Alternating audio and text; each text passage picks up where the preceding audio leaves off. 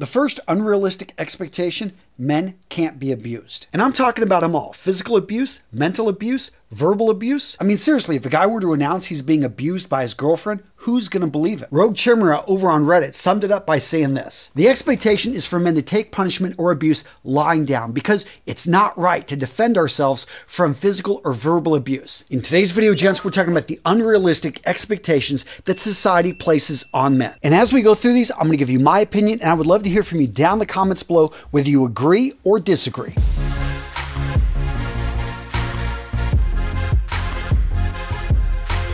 So, my opinion on this first issue abuse, there definitely is a problem out there. We've got a society that views men coming forward as being weak. No matter what we say, it's still viewed as you're not a manly man if you complain. And we've also got the issue that so many guys just don't even admit it. They don't want to admit the fact that they're in a relationship that's toxic, that they're dating someone that's abusing them. The next unrealistic societal expectation you got to be six foot one and have six pack abs, the ideal body type, or you've got no chance with the ladies. So I'm watching a video clip with Zac Efron as he's traveling around the world.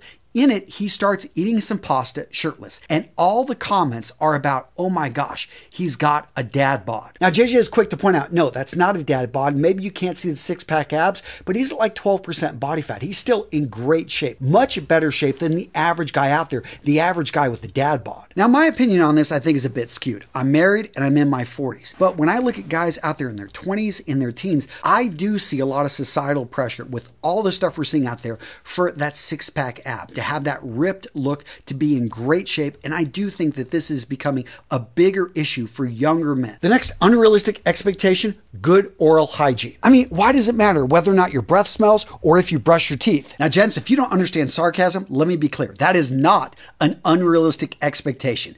Every man out there should be brushing his teeth and have good oral health care. Seriously, would you want to kiss someone with bad breath? Now, gents, when it comes to oral hygiene, it all starts with your toothbrush. The toothbrush I've been using now for over two years, and I highly recommend the Brio Smart Clean Toothbrush. Now, gents, Brio is the sponsor of today's video. I know the owner, and I'm proud to bring him to you because this is the toothbrush that me and my family use. I love it because it's got a battery that I charge once, and I can take this thing on the road for six weeks. It's got a timer for two minutes, so I know how long to brush my teeth. They've also got three different head types depending on your need, depending on the size of your mouth, depending on what you want from your toothbrush, and the refills are easy. They're affordable and you can set it up so they're automatically sent to you on subscription. And this isn't really talked about on their website, but I love it. It's the fact it's got a low profile. Look at that base right here. I've had a lot of electric toothbrushes that take up a lot more space. I've got a very small bathroom that I share with my family, and it's nice to be able to charge this put away the charger and not have to worry about charging it for weeks. And they also come with a two year warranty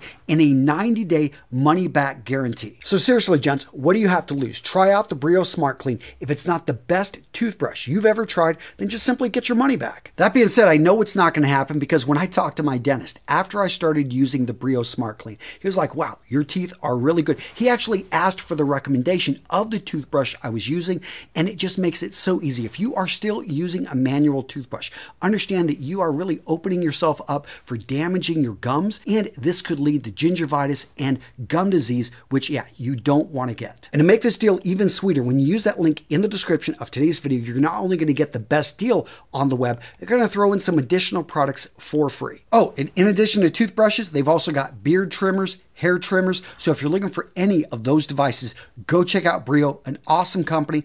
Go check them out. They've got that money back guarantee, no risk on your part, and you get the best deal on the web. Use that link in the description of today's video. The next unrealistic expectation men need to pay for everything. Now, gents, my thoughts on this in a world where everyone's trying to be equal, this is an unfair expectation. And Crazy Wolf 69, he had a good point about this. It's a catch 22. When you're talking to a modern woman on a date, she says all things should be equal, but then you get stuck with the check. I mean, I can't argue. He's got a good point. Now, me personally, I'm a little bit old fashioned, and I do think if you ask somebody out on a date, you should offer to pay for the date.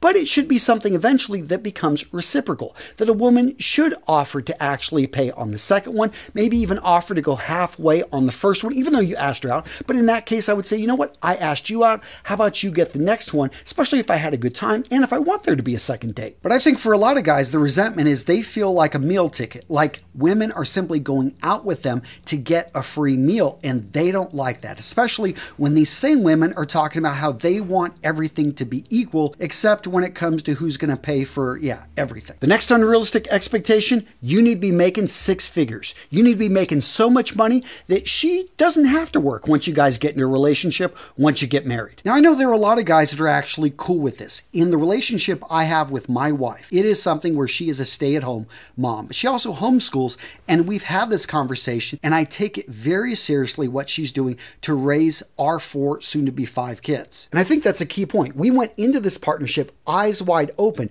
knowing that I was going to be the provider when it comes to money. She was going to focus in on building the family and taking care of everything in the home. That being said, I don't think there should be any societal expectations that men have to be the sole breadwinner, especially when we live in a world in which it's very difficult to live on one income and oftentimes women earn more than men. I mean, seriously, the expectation that a guy needs to be making more than $100,000 and be the CEO, be the general manager, if a woman goes into a relationship or expects that from a guy, it's probably a good sign that, yeah, you probably need to run in the other direction. I don't know. Agree, disagree? Let me know in the comments below. The next unrealistic expectation is that men somehow can't be body shamed. I was reading a whole article about this, how this is only a woman's issue. That is a bunch of BS. Seriously, I remember playing sports as a kid and just being made fun of ruthlessly because I was so skinny. And I kind of went along with it. I learned that when people are attacking you, you know, if you just simply go with it, they can't use it against you. But I saw so many other kids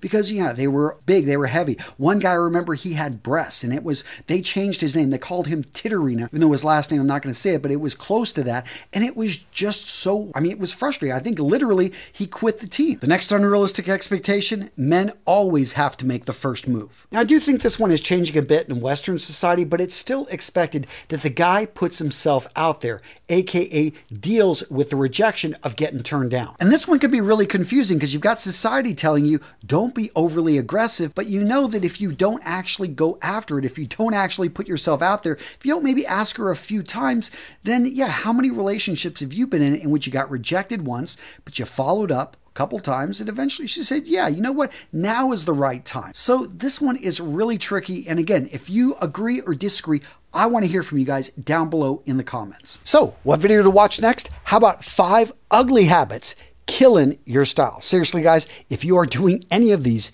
you probably want to stop. What am I talking about? Find out, gents, in this video right here.